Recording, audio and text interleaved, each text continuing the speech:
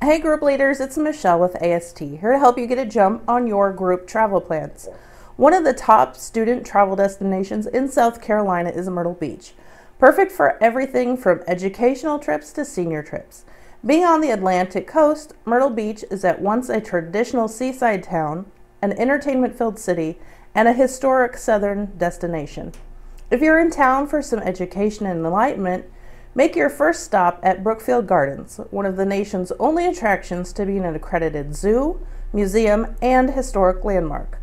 Tour the Antebellum Plantation, visit the animals, and take a narrated pontoon boat ride around the property. After that, stop next door at Huntington Beach State Park. Relax on the brown sugar sands, take a walk along the boardwalks over the salt marshes, or search the tide pools for wildlife.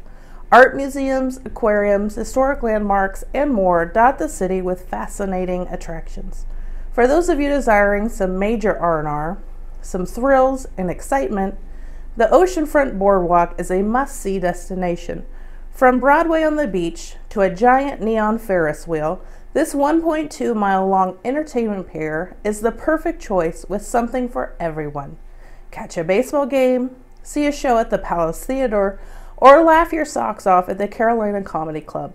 Family Kingdom Amusement Park offers classic carnival rides and games, while the Hollywood Wax Museum is a great opportunity to take pictures with celebrities. This exciting city by the sea is a family friendly destination with personality. Come see why Myrtle Beach is one of the most popular summer vacation destinations on the East Coast. Call us today to get in on the fun. Also, please remember to subscribe to our YouTube channel and like us on Facebook for more fun travel tidbits. Until next time.